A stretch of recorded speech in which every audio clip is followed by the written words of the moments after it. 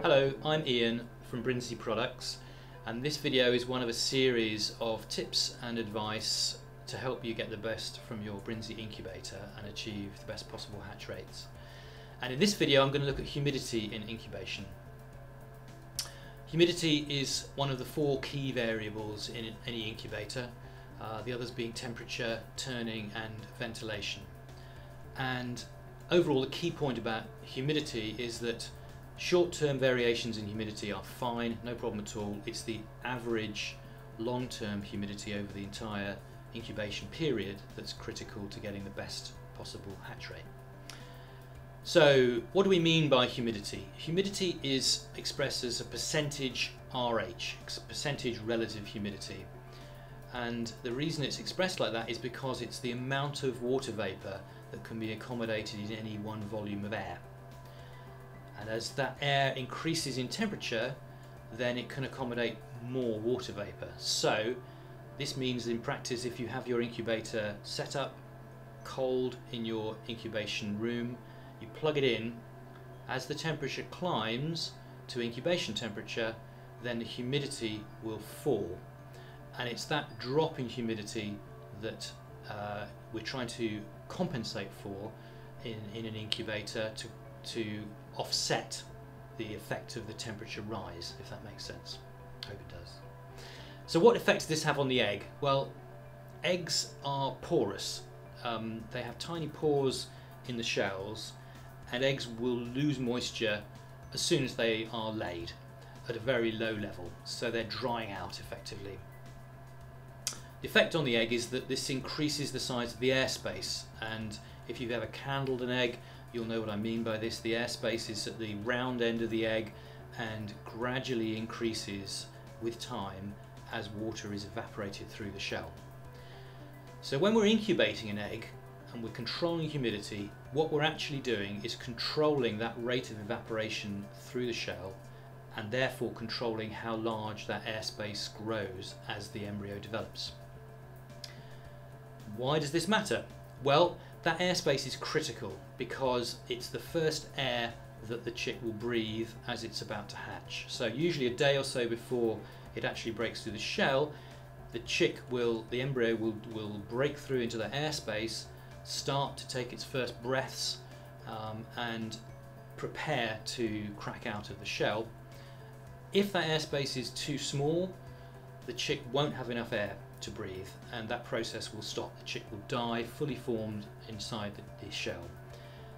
If humidity has been too low, the airspace is very large, then the chick will be rather dry and might struggle to get out of the shell. Um, so that's what you're trying to do when controlling humidity in incubation is to get that airspace about the right size. Large variability between different species, large variability between one egg and another. Um, porosity of eggshell is very variable. So if you have two eggs from even the same parent bird, they will lose humidity at often quite different rates.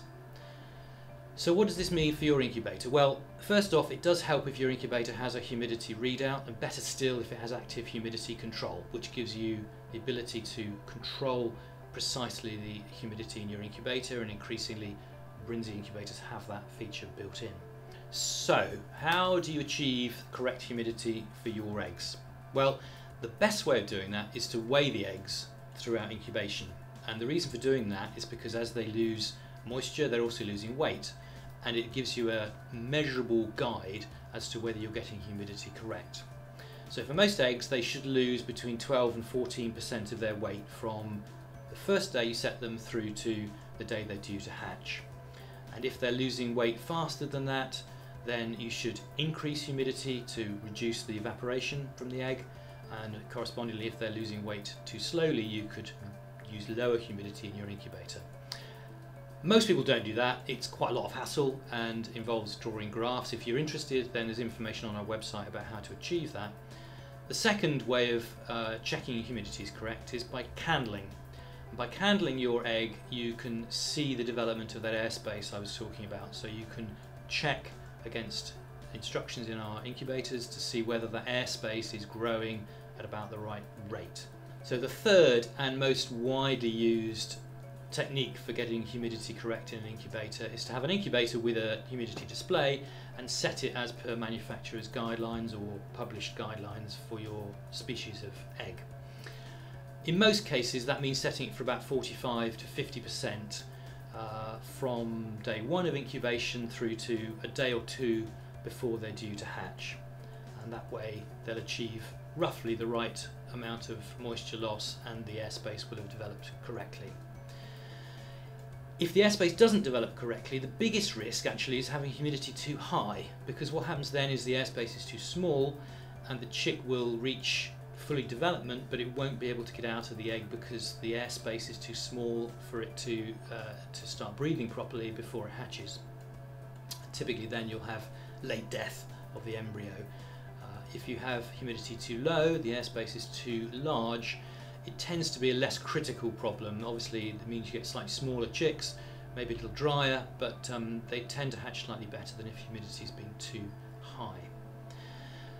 Hatching is different. Hatching requires humidity to be quite high because what you're trying to achieve there is moisture around the, the air of the hatching egg to stop membranes drying as the chick emerges from the egg.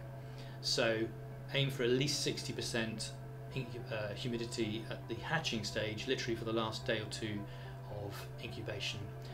It's actually naturally elevated anyway because as soon as the eggs start to chip and start to break out, then you your humidity in the incubator will rise as a result of, of that moisture they're giving off. So in summary, it's the average humidity over incubation period that's important. Short-term variation doesn't matter. It's better to have humidity if it's going to be wrong, it's better that it's low rather than high. High humidity is more likely to cause embryo death at the end of incubation period. Um, if you can weigh eggs and monitor weight loss, that's ideal. Otherwise, follow manufacturer's guidance. Um, and if you have an incubator with humidity display, and better still, fully automatic control of humidity, which allows you just to dial up the humidity that you, you need, then so much the better and it makes life a lot easier. Anyway, thank you.